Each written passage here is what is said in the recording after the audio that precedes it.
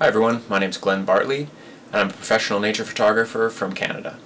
I get a lot of emails and a lot of questions about Adobe Photoshop, how to use it, about a workflow, so I thought today I would walk you through a basic workflow in Adobe Photoshop. Okay, so let's get started here with our Adobe Photoshop workflow. The first thing you'll notice is that I'm working on two monitors. I've got one monitor here and one monitor over here. On the main monitor here, I've moved the tools, which are by default over in this area, I've moved them over to this monitor. And I've also moved all of my panels over here. And I've selected just the panels that are of interest to me. And for me, those are the Navigator, History, Actions, and Layers panels. I've uh, enabled the mouse shadow, so hopefully that's going to be able to show you a little more clearly what I'm doing here. So the first step is just to simply open up our image file, which in this case is going to be a raw file. To do that, you could go up to File and click Open. I'm just going to double click on the gray, dark gray area, and that automatically opens the uh, Open dialog box. So I've got a file here on my desktop. We'll open him up. Here we see an American, American Avocet um, so this is the raw file. We want to do some as many conversions as to this image as possible. We'd rather do those to the raw file than to do those to the TIFF file that we're going to open later in Adobe Photoshop. So the first thing I want to check is, is the image look level. To me it looks pretty level. I don't think I'm going to bother. If it was out of alignment, we could use the level tool, which is just up here, straighten tool. But in this case, I'm going to go ahead and go right on to cropping. So I'll select the crop tool, and you'll notice that the crop tool can be used in a number of different ways. You can do freeform transformations, or you can set an aspect ratio. And for me, I always set this to 2 to 3. It's up to you though. So I'll go ahead and draw out my 2 to 3 aspect ratio crop box, and you can see then I can start pinching it in from the corners, deciding on how much or how little to crop out, and ultimately how I want to compose my image something like that. Now one little feature that I like to do is I like to go to the hand tool or the move tool and if I click on that it automatically zooms into the crop that I just selected. So that's a nice way to see the preview of what your crop's going to be. So I'm pretty happy with that. Um, if you ever want to go back you can simply go back to the crop tool and let's just say I wanted to take in a little bit more from from the back side here I could I could do that and then just go back to the hand tool to zoom in. So we've got our crop. Next thing to do is to work through our basic set of adjustments. Actually, we're going to take a pause there. Before we do that, I'd like you just to check your own machine and make sure that your settings down here, in this area, are right. Now, I would suggest that you dial in the space Adobe RGB 1998, depth 16 bits a channel, crop size will be whatever depending on the camera you use. I like to make my default 300 pixels per inch, and then these two are just left at the defaults. So just take a check of that. Okay, so we're ready to do our basic set of adjustments here. I'm in the basic tab over here in the uh, in the different tabs here.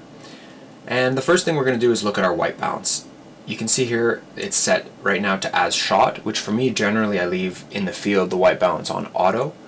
Um, to me this looks a little bit cool, so what I'm going to do is by selecting the temperature and then using the keyboard uh, up down arrows or you could use the mouse and slide them. I like to use the keyboard often to uh, have a little bit more control. I'm just going to warm things up. I'm going to increase the number slightly until I think it looks a little bit a little bit better. Something like that. I'm not going to adjust the tint. I very rarely adjust the tint. So the next thing we're going to do is we're going to use the exposure recovery, fill light, and blacks tabs, all located right here. Um, we're going to use those in combination to get our exposure correct. The first thing we're going to do is check in with our exposure here. And by holding down the Alt key on the keyboard and left clicking on the exposure, I can see that there's one small, small area. Um, I'm not going to be able to point it out to you because I have both hands occupied here, but um, small area that's getting overexposed. If I start sliding the exposure to the right, adding exposure, you'll see the areas in the image that would, as a result of making this change, become overexposed. In this case, that would be very undesirable.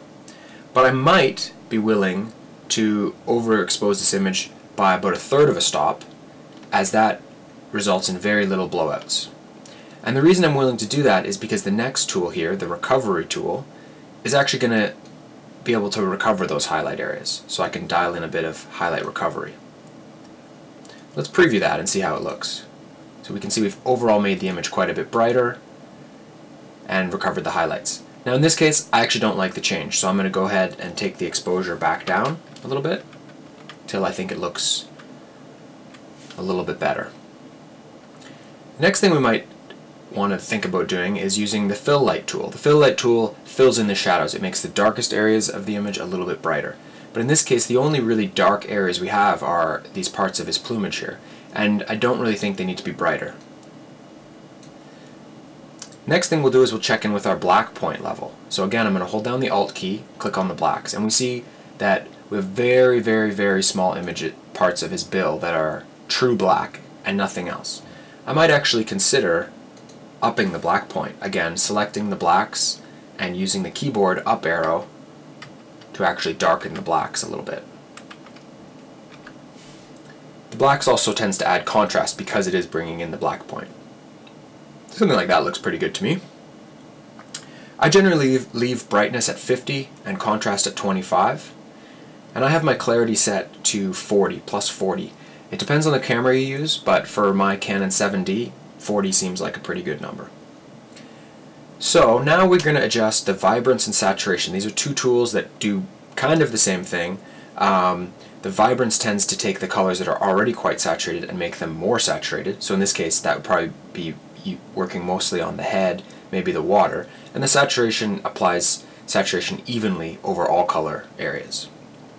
So in this case, I'm going to start with the saturation and I'm going to bump it up just a little bit from my default value, which was 12.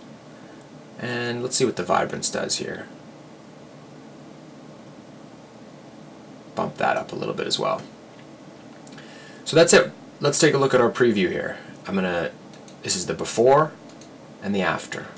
Before and the after. Probably a little hard to see on this video, but I'm fairly happy with the change. I often go back through though and just tweak things out just to make sure everything's looking exactly as I want it to be.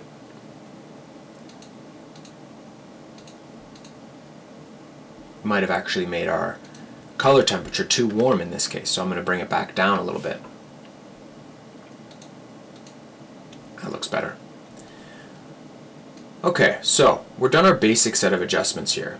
And the next thing to do is to think about are there any particular colors in this image that I would want to selectively adjust. So for example, if I wanted to make the blue in the water more saturated, I can't do that through these tools here because they're adjusting the overall image. But what I can do is come to the HSL Grayscale tab located right here, click on it, and you'll see all these different color hues. We've got hue, saturation, and luminance that we can adjust. So in this case, if I go to saturation and I select the blues and move it up to 100%, you see that they very drastically change. I may not want to go that far, certainly not actually, but I might make them a little bit more saturated. And let's preview that. Just makes the water have a little bit more color. So that's a nice change. And you could do that with the reds and all the different colors in your image. Often birds that are red or yellow will get overexposed areas uh, or areas that show little detail in the plumage and you may need to come in here and adjust the individual color channel. So for our purposes on this image, we're finished for now. I'm going to go ahead and say Save Image. And I have set a preset location that all of my images go to.